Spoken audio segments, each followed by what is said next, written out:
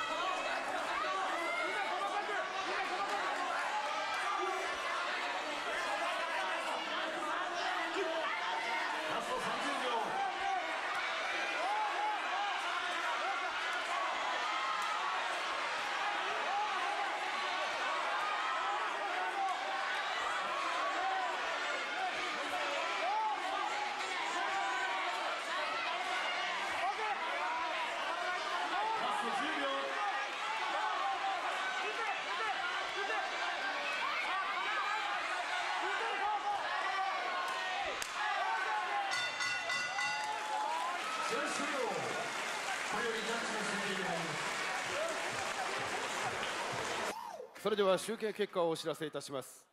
ジャッジ小川29対29ドロー。ジャッジ大沢30対29赤ラスター。ジャッジアキラ30対28赤ラスター。以上2対0の判定をもちまして勝者ラスター。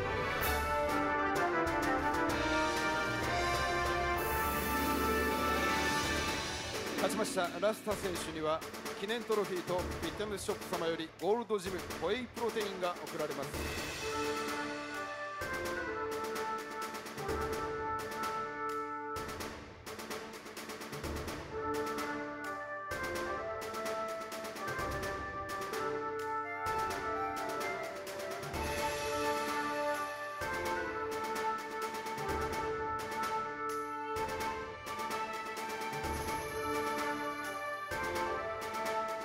選手退場。